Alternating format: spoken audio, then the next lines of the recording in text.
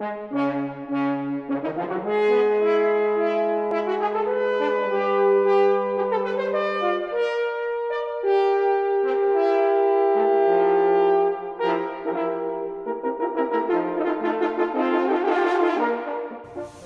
French horns were just hunting horns used for hunters to signal each other, and they usually just made short little horn calls. And one of the more popular ones was shaped like a large loop, so it was convenient for them to carry on their shoulders. Starting in the 1500s, these looped horns made their way into musical ensembles. As time went on, people started to favor larger bells. These horns we now call natural horns. Around this time, music for horns tended to stay in the upper register because there were more notes that composers could work with. In the 1600s, horn players started using crooks, or large removable slides, in order for them to change keys, rather than just having to have multiple horns in different keys. Also around this time, hand stopping became a very common practice, which altered pitch.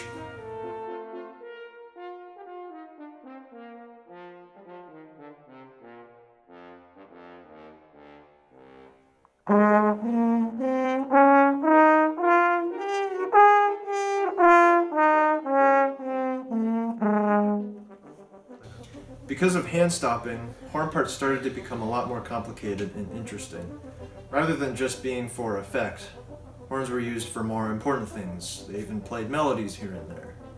The introduction of valves in brass instruments in the 1800s was a huge game changer for brass instruments, and it completely set the stage for modern brass playing.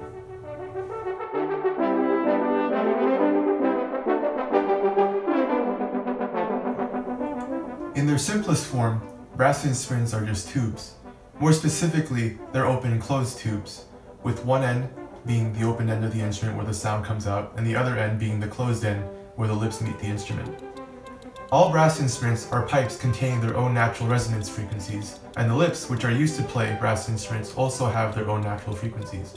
So a sound is produced on a brass instrument when the lips vibrate sympathetically with the natural resonance frequencies of the instrument itself. Because they are open-closed systems, brass instruments can only produce standing waves on odd-numbered harmonics of the harmonic series. Because of this, the tuning of most brass instruments is such that the first pitch of the harmonic series is based off the first harmonic of the true fundamental. The true fundamental of brass instruments is often played as a pedal tone, which is not actually a member of the harmonic series of the instrument. This intonation system produces an approximation of an actual harmonic series, but the problem with it is that the upper harmonics of the instrument become really out of tune. To fix this, brass instrument makers added flared bores and bells to the instrument to help move the intervals closer together and to increase projection. Additionally, they also created mouthpieces to help playing the instrument be easier and to help curb the sharpness of upper harmonics.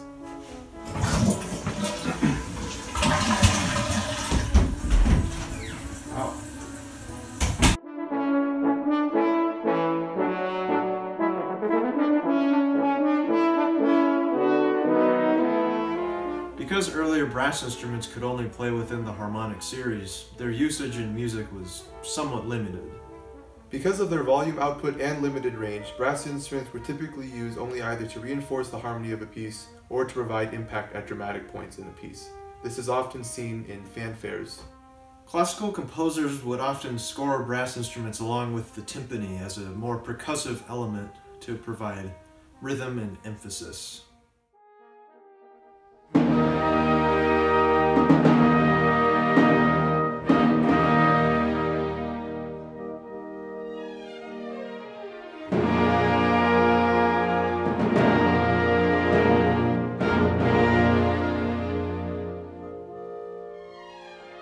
Germany, this was so common that trumpeters and timpani players were often grouped into the same guild, like the Imperial Trumpeters and Kettle Drummers guilds.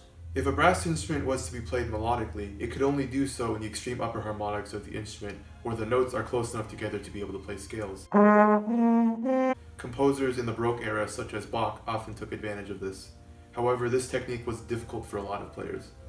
Because brass instruments could only play within the harmonic series of a specific pitch, there existed many horns and trumpets that were tuned in different keys in order to accommodate the different keys composers wished to score them within. Before valves were created, a lot of instruments had crooks, which were explained earlier in this video. Even so, the limitations of an instrument's key are difficult to overcome, and many composers used early brass instruments sparingly, especially in pieces with many key changes or modulations. Beethoven was the first composer to give brass instruments a larger role in the orchestra, being the first to score trombones into a major orchestral work, and to give trumpets and horns more varied and interesting parts. His fifth and ninth symphonies are great examples of this.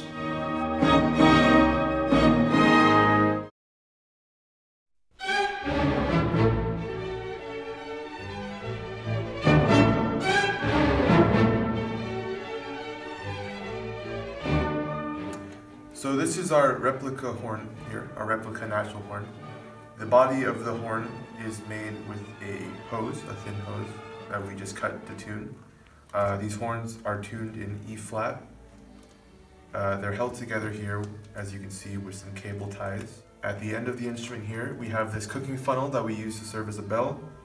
Uh, it's just attached to this rubber sleeve, which is taped to the body of the horn. And then the other end here, we have normal mouthpieces. Mine's a trumpet mouthpiece and Evans is a horn mouthpiece. It's a perfect fit. And that's the natural horn. Some differences between the natural horn uh, that we made and other natural horns, uh, real ones. Uh, there's no taper in the body of this horn because obviously this is a this is a hose, so you can't. There's no way for us to make a taper for it. Because of that, it affects the intonation. Uh, the intervals will not be as tuned in tune because of the lack of taper here and also the uh, the bell of the horn because obviously this doesn't fit a hand. You cannot do hand technique on our horn like you can with a real natural horn. But other than that, uh, the system works quite similarly to a real natural horn. We can recreate the harmonic series. Uh, and yeah, that is our natural horn.